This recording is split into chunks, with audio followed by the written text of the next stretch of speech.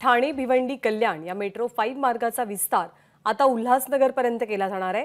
कल्याण ते खडकपाडा आणि खडकपाडा ते उल्हासनगर असा सात पूर्णांक सात किलोमीटरचा हा मेट्रो मार्ग असेल.